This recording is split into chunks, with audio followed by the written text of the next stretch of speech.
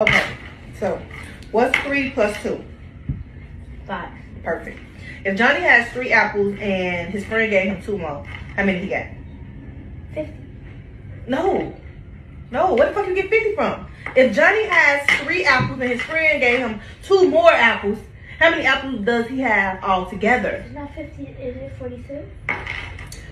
Where the you get 46 Baby, from? baby, baby, You not listening to what I'm saying. You're not paying attention. Baby, I, I teach him. I teach him. You can't beat the answer into the kid. God damn, like, you know, it don't take, it's, it's simple. It's so, it's simple math. Okay, son. You Listen, know this. Listen, son. The answer is five.